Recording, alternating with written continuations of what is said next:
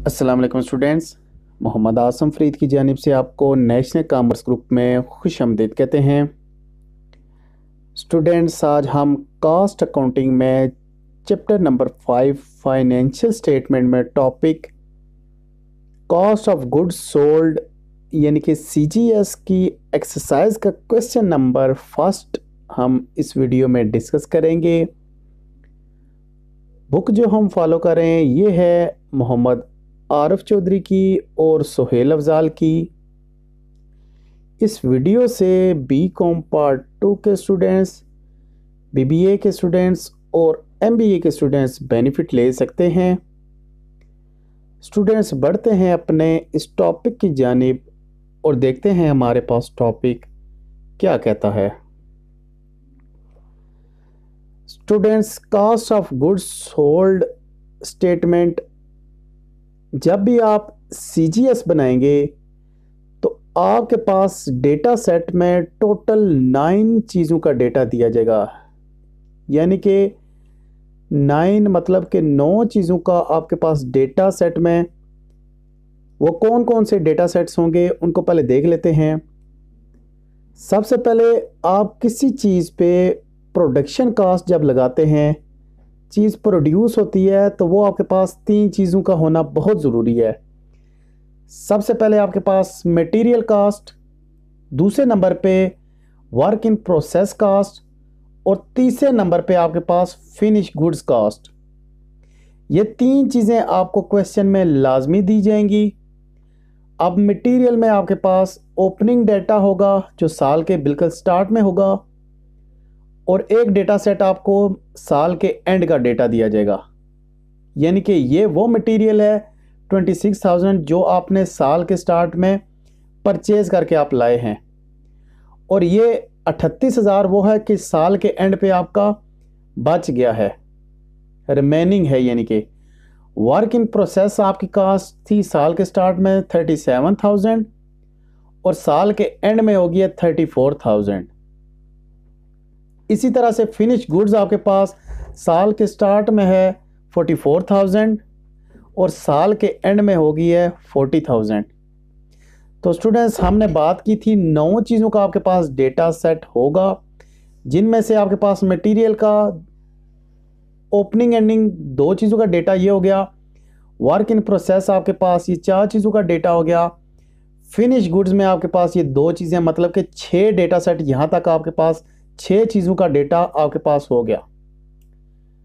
उसके बाद सातवीं चीज़ आपके पास होगी। आपने during the year raw material purchase किया होगा। एक तो रॉ मटेरियल वो है कि जो साल के बिल्कुल स्टार्ट में आपने परचेज किया था छब्बीस हज़ार का। और एक मटेरियल वो है कि जब साल का मिड हो गया, एक क्वार्टर गुजरने के बाद आपको रॉ मटेरियल की ज़रूरत पड़ी है तो उसमें आपने तीन लाख चालीस हज़ार रुपये की फर्दर परचेज की है, यानी कि रॉ मटेरियल को परचेज किया है। ये आपके पास सातवीं चीज़ का डेटा हो गया, आठवीं चीज़ आपके पास होगी डायरेक्ट लेबर कास्ट तो स्टूडेंट्स आपको डायरेक्ट लेबर कास्ट क्वेश्चन में सीधी सीधी अमाउंट की शक्ल में दे देगा। यहाँ पे डायरेक्ट लेबर कास्ट जो है, वो दो लाख बीस हज़ार हमारे पास है। और आखिरी चीज़ हमारे पास, जो लास्ट चीज़ होगी मतलब कि नाइन्थ वैल्यू जो हमारे पास होगी, वो होगी एफओएच का डेटा फैक्ट्री ओवरहेड का डेटा। तो स्टूडेंट्स फैक्ट्री ओवरहेड ये दो तरीकों से पूछ सकता है। या तो वो खुद वैल्यू दे देगा, जिस तरह से डायरेक्ट लेबर कास्ट की वैल्यू है, या फिर फैक्ट्री ओवरहेड में वो आपको परसेंटेज का डेटा दे देगा कि यानी कि डायरेक्ट लेबर कास्ट की जो 75 परसेंट है, वो आप लगा लें एफओएच का डेटा यानी कि फैक्ट्री ओवरहेड का डेटा यहाँ पे आपको लेबर कास्ट दे दी गई है दो लाख बीस हज़ार और एफओएच का डेटा आपको दे दिया है seventy five percent of direct labour यानी कि दो लाख बीस हज़ार का आप सेवेंटी फाइव परसेंट निकालें, एक लाख पैंसठ हज़ार ये वैल्यू बनती है। तो सारी चीज़ों को समझने के बाद हम स्टार्ट करते हैं अपने सीजीएस से। तो स्टूडेंट्स यहाँ पे मटेरियल की वैल्यू देख लें, साल के स्टार्ट में थी छब्बीस हज़ार। साल के दरमियान में आपने और मटेरियल परचेज़ किया, तीन लाख चालीस हज़ार का। और साल के एंड में आपकी वैल्यू होगी अट्ठतीस हज़ार की। सबसे पहले हम इसका स्केच बना लेते हैं।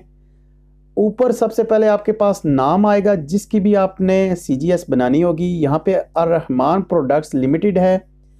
आप जब क्वेश्चन देखेंगे, हर क्वेश्चन में वैल्यूज़ चेंज होंगी, लेकिन मेथड आपके पास बिल्कुल सेम होगा। रहमान के बाद आपके पास नीचे हेडिंग आप देंगे cost of goods manufacturing and sold statement और उसके बाद तीसरी लाइन में आपके पास for the year ended thirty first दिसंबर 2014 यानी कि जो एंडिंग ईयर आपका है, एंडिंग डेट है, उसका आपने बनाना है। तो स्टूडेंट्स सबसे पहले आप मटेरियल से आगाज़ करेंगे डायरेक्ट मटेरियल से। तो यहाँ पे हमने देखा है कि मटेरियल की वैल्यू आपके पास थी छब्बीस हज़ार। तो यहाँ पे हम लिख देंगे मटेरियल की वैल्यू में छब्बीस हज़ार। और ये वैल्यू थी आपके पास मटेरियल इन्वेंट्री फ़र्स्ट जनवरी 2014 यहाँ पे आप डेट देख सकते हैं।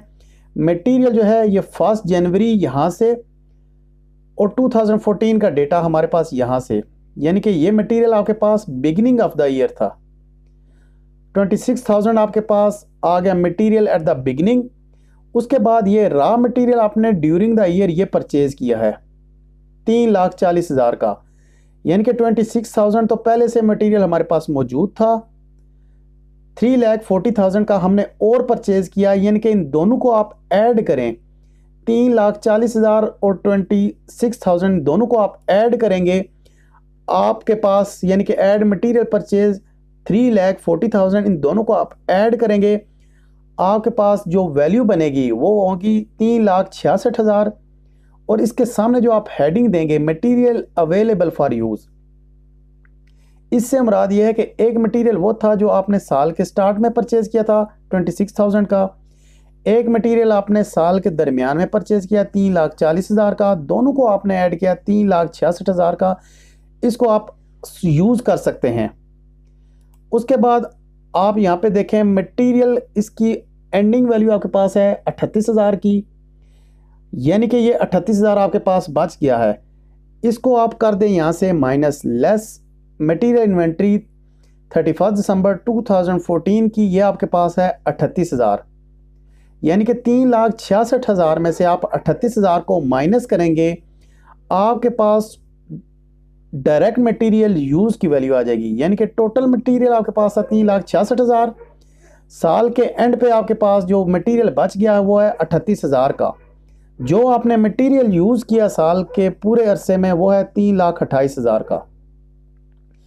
उसके बाद स्टूडेंट्स आप डेटा में देखें तो आपके पास डायरेक्ट लेबर की वैल्यू है दो लाख बीस हज़ार और direct F factory overhead की वैल्यू है आपके पास seventy five percent of direct labour cost यानी कि लेबर कास्ट आप इसमें ऐड कर दें दो लाख बीस हज़ार, इसी का सेवेंटी फाइव परसेंट लें यह आपके पास आ जाएगा फैक्ट्री ओवर हेड और सेवेंटी फाइव परसेंट आपने दो लाख बीस हज़ार का लिया तो एक लाख पैंसठ हज़ार। अभी आपके पास तीन किस्म की वैल्यूज़ आ गई हैं। एक आ गई है तीन लाख अट्ठाईस हज़ार। दूसरी वैल्यू आपके पास दो लाख बीस हज़ार और तीसरी वैल्यू आपके पास एक लाख पैंसठ हज़ार। तीनों वैल्यूज़ को आप ऐड कर दें, आपके पास हो जाएगी टोटल करंट मैन्युफैक्चरिंग कास्ट यानी कि यहाँ तक आपने मैन्युफैक्चरिंग कास्ट को बेयर किया है सात लाख तेरह हज़ार के साथ। उसके बाद स्टूडेंट्स आपके पास है work in process beginning inventory work in process आपके पास जनवरी फ़र्स्ट सैंतीस हज़ार। इसको आप यहाँ पे ऐड कर दें टोटल करंट मैन्युफैक्चरिंग में। यानी कि आपने ऐड कर दिया work in process inventory first January 2014 को सैंतीस हज़ार को। सात लाख तेरह हज़ार में सैंतीस हज़ार को आप जमा करें। सात लाख पचास हज़ार, ये है आपके पास cost of goods available for manufacturing इसमें से आप जो work in process ending inventory मतलब कि ये चौंतीस हज़ार ये दी गई है, इसको सब्ट्रैक्ट कर दें माइनस कर दें। आप माइनस करेंगे तो आपके पास सात लाख पचास हज़ार में से चौंतीस हज़ार को माइनस करें, आपके पास वैल्यू आ जाएगी कास्ट ऑफ़ गुड्स मैन्युफैक्चर्ड यानी कि यहाँ तक वो वैल्यू आ गया है जिसमें आपने जो चीज़ प्रोड्यूस करनी थी, वो मैन्युफैक्चर कर ली है। और लास्ट चीज़ आपके पास रह गई है फिनिश गुड्स ओपनिंग की वैल्यू और finish goods ending value opening की वैल्यू आपके पास है फोर्टी फोर थाउज़ेंड इसको आप ऐड कर दें। यानी कि जब आप ऐड करेंगे फिनिश गुड्स ओपनिंग इन्वेंट्री को फोर्टी फोर थाउज़ेंड को, आपके पास वैल्यू आ जाएगी सात लाख साठ हज़ार और इसको आप कहेंगे cost cost of goods available for sale यानी कि ये वो कास्ट है जिसको आप सेल के लिए अवेलेबल कर सकते हैं। और लास्ट में आपके पास आखिरी चीज़ रह गई है चालीस हज़ार की। वो आप इसमें से सब्ट्रैक्ट कर दें। सात लाख साठ हज़ार में से सब्ट्रैक्ट करेंगे चालीस हज़ार को तो आपके पास वैल्यू आ जाएगी कास्ट ऑफ़ गुड्स सोल्ड की, सात लाख बीस हज़ार की। तो स्टूडेंट्स ये था हमारा क्वेश्चन नंबर वन एक दफ़ा फिर से आप देख लें, आपके पास मटेरियल लेबर एफओएच का डेटा दिया गया होगा। मटेरियल में आपके पास ओपनिंग इन्वेंट्री यहाँ से देख लें opening inventory ending inventory opening inventory में आप रॉ मटेरियल को ऐड कर दें, जो वैल्यू आएगी उसमें से एंडिंग को आप सब्ट्रैक्ट करेंगे। याद रहे कि आप ओपनिंग को हमेशा ऐड किया करेंगे एंडिंग को हमेशा आप सब्ट्रैक्ट किया करेंगे। आप मटेरियल में आपने तीन लाख चालीस हज़ार को ऐड कर दिया और अट्ठतीस हज़ार को माइनस कर दिया। यहाँ तक आपके पास डायरेक्ट मटेरियल यूज़ की वैल्यू आ गई है। इसके बाद दो लाख बीस हज़ार को लेबर कास्ट को और seventy five percent of direct labour को आपने ऐड कर दिया। टोटल करंट मैन्युफैक्चरिंग कास्ट यहाँ तक आ गई। वर्क इन प्रोसेस आपने बिगिनिंग को ऐड कर दिया एंडिंग को लेस कर दिया। यहाँ पे आपके पास टोटल करंट मैन्युफैक्चर्ड कास्ट आ गई। फिनिश गुड्स ओपनिंग को ऐड कर दिया एंडिंग को लेस कर दिया। ओपनिंग को ऐड करेंगे आपके पास cost of goods available for sale की वैल्यू आ जाएगी। और जब इसको आप लेस करेंगे, आपके पास सी जी एस की वैल्यू आ जाएगी, यानी कि कास्ट ऑफ़ गुड्स सोल्ड जो चीज़ आप सेल कर रहे हैं, उसकी कास्ट कितनी है? सात लाख बीस हज़ार। तो स्टूडेंट्स ये था हमारा आज का लेक्चर उम्मीद करते हैं लेक्चर की समझ आई होगी। लेक्चर में किसी किस्म का कोई मसला हुआ, लाजमी हमसे रबता कीजिएगा। नेक्स्ट वीडियो में दोबारा आपसे मुलाकात होती है।